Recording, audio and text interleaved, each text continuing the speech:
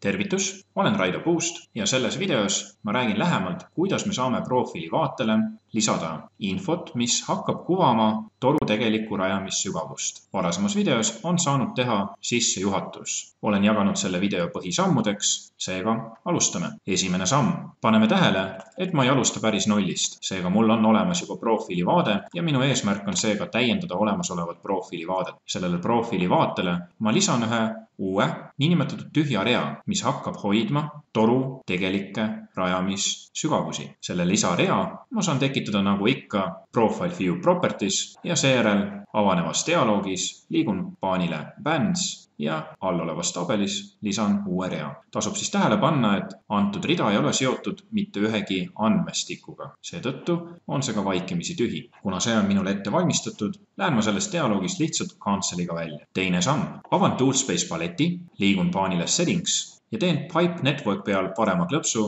võtan edit feature settings avanevas dialoogis liigun sektsiooni Default Profile Label Placement ja veendun, et Dimension Anchor Option for Pipes oleks kui Graph View Bottom. see võimaldab mul hiljem mugavamalt silte nihutada. pane tähele, et see säte võib sul juba eelnevalt paigas olla. Apply ning OK.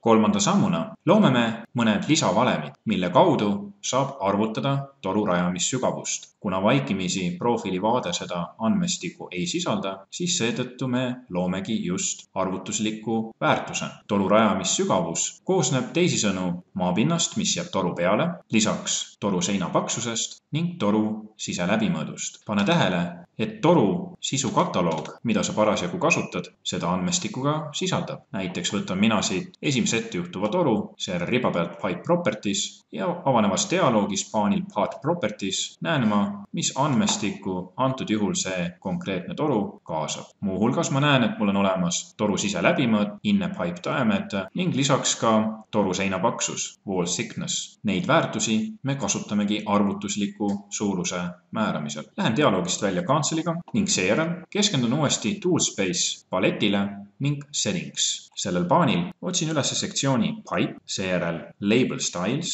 ja plan profile. mul võib varasemalt olla siin defineeritud juba mõned arvutuslikud suurused ja seda siis expressions sektsioonis. meie eesmärk on hetkel lisada uus arvutuslik suurus. teen expressions peal parema klõpsu ja valin new. avanevas dialoogis saan anda nimetuse. Kasutan siinkohal ingliskeelset nimetamist. Teps to invert ja seejärel start. pane tähele, et torustiku juures soovime me saada rajamissügavust mõlemast otsast. seega esialgu kirjeldan ma toru alguspunkti sügavuse. selle arvutan ma välja expression kastis. klikkides nupul saan valida erinevaid parameetreid, muuhulgas ka start cover, mis on siis maapind toru pealt. seejärel liidan sellele uuesti parameetrite nimekiri, inner pipe diameter ja omakorda sellele liidan väärtuse wall thickness. pane tähele, et hetkel ma lisan ühekordselt seina paksuse, sest minu eesmärk on selle invert väärtusega saada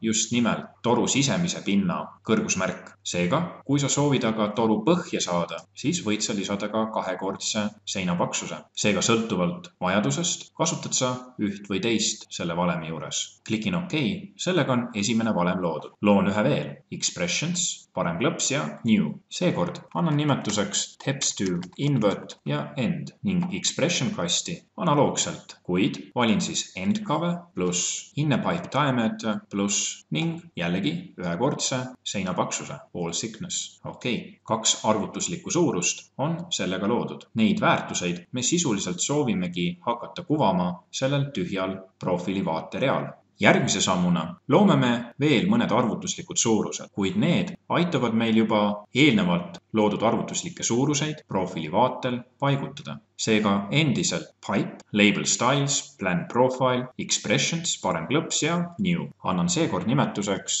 teps to invert ja seejärel start x offset millega ma määran X-i sihis nihkeväärtuse. seda kirjeldab jällegi arvutuslik suurus, mis koosneb järgmistest parameetritest. valin esmalt parameetri 2D lengths to inside edges ehk siis sisuliselt toru pikkuse 2D tähenduses. selle suuruse ma jagan kahega. Panen nüüd selle sulgudesse ja lahutan siit nüüd väärtuse, mis on tegelikult vaja igalühel läbi proovida, juhul kui kasutatakse erinevaid profiilivaate stiile. mina olen leidnud, et minul peaks töötama null punkt viis selleks, et need väärtused koonduksid keskjoone ümber, kuid võib juhtuda, et ma pean siiski neid hiljem redigeerima, aga seda me näeme juba hiljem. panen taas sulud ja seejärel jagan selle väärtuse läbi nüüd joonise skaala faktoriga. see väärtus on kui drawing scale conversion. teisisõnu, ma tahan välja lülitada joonise skaala või siis seda arvesse võtta. jällegi ma panen nüüd kogu arvutusliku suuruse sulgudesse ja korrutan seda väärtust nüüd läbi miinus üks punkt nulliga. see tähendab lihtsalt seda, et väärtust nihutatakse X-telje negatiivsele poolele ehk vasakule. mul on mõistlik see osasid kopeerida Ctrl C-ga ja vajutan seejärel OK.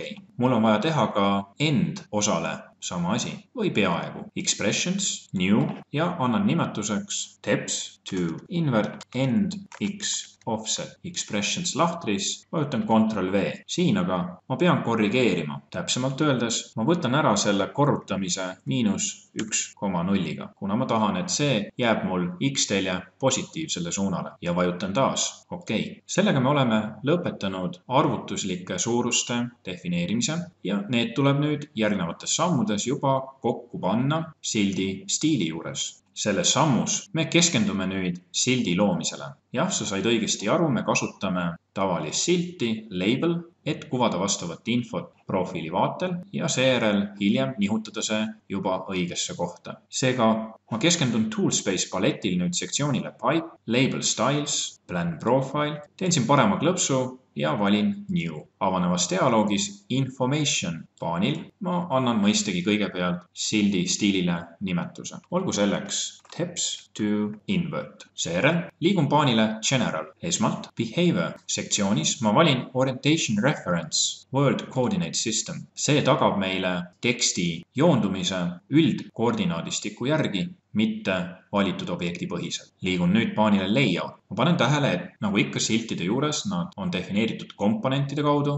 ja mul võib siin juba eelnevalt midagi ees eksisteerida. kuid lihtsuse huvides ma kustutan need siit hetkel ära, kuna nad võivad meid lihtsalt häirida või segada. seejärel lisan uue tekst ja annan sellele nimetuse kui pipe start. Anchor point, valin centerline asemel pipe dimension. seejärel tekst sektsioonis, kus on contents, siin on label tekst, klikin rea lõpus kolmel täpil ja avanevas dialoogis saan ma juba valida eelnevalt defineeritud arvutuslikke suuruseid. antud juhul huvitab mind teps to invert start. kontrollin, et kuvatav täpsus precision kastis oleks kaks kohta peale koma. veendun, et siin eelnevalt ei oleks mitte ühtegi teksti ees ja nüüd juba klikin noole nupul, et lisada uus sisu. klikin OK.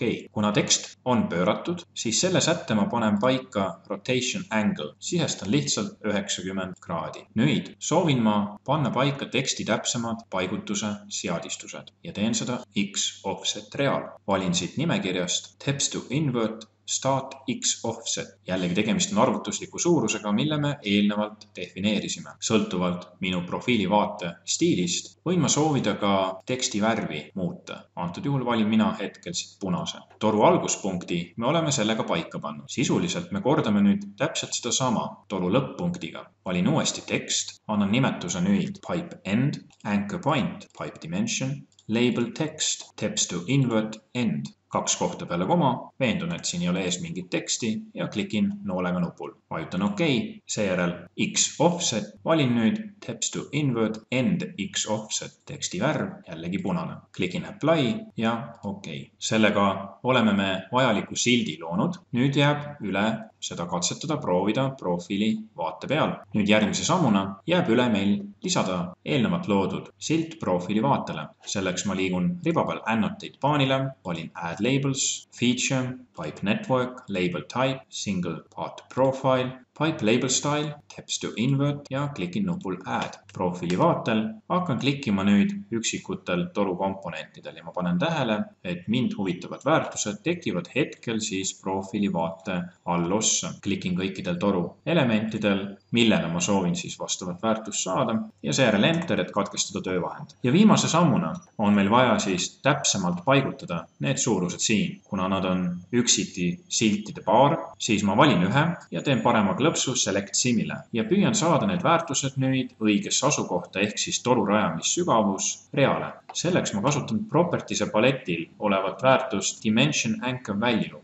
sõltuvalt profiili vaate stiilist võime me igaüks vajada siin erinevat suurust, kuid ilmselt on ikkagi miinusmärgiga, sellepärast et me soovime seda kujutletavas Y null sihis saada allapoole. mina olen katsetanud väärtust sada kolmkümmend seitse, mis peaks üsna hästi töötama, kuid juhul, kui on vaja teha täpsustusi, siis saan seda teha. ka hetkel tundub, et sada kolmkümmend seitse on veidi palju ja jään saja kolmekümne kolme juurde miinusega. sellega olemegi saavutanud tulemuse, mille eesmärk oli profiili vaatele saada toru rajamissügavus ja olgu lõpetuseks öeldud, et mõistagi on tegemist siin ka dünaamilise suurusega, nii nagu ikka siltide juures. kui arvutuse alus peaks muutuma, antud juhul siis disaini tingimus, parameeter, siis arvutatakse ka vastavad väärtused siin profiili vaatetabelis ümber. antud video demonstreeris, kuidas on võimalik omavahel kombineerida profiili vaadet koos Civil 3D siltidega.